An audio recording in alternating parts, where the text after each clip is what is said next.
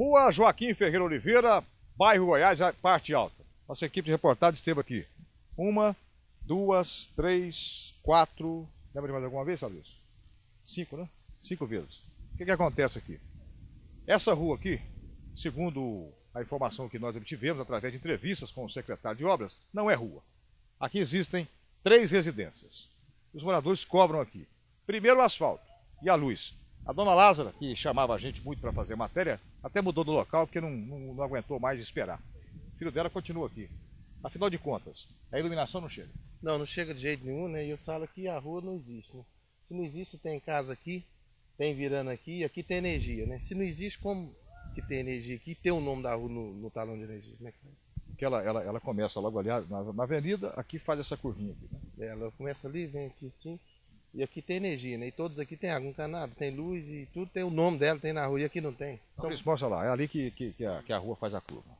Você mora na rua de lá, né? Eu moro virando aqui. Não, eu moro na casa da minha mãe aqui até eu construir. No meu terreno eu já pus energia, que é virando aqui, já está no meu nome. E aqui não, não tem, não existe. Como não existe? Não tem cabimento. Fala com a outra senhora que mora aqui. A senhora mora na casa 71 aqui?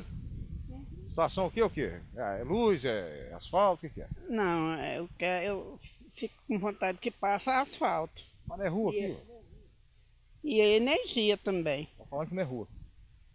Não é não? Fala aqui. não tô entendendo mais nada. Quantos anos você mora aqui? Um ano e pouco. Na briga? Um ano e pouquinho. Na luta? Seis meses. É, na luta. Você era amiga da Dona Asa? Mudou, não aguentou não? É, não aguentou não. Ela enjoou de ver a gente aqui também, né? Muitas vezes que a gente já veio cá, né? É, já tem. Isso acontece agora? Já tem bastante mês, vocês vieram aqui.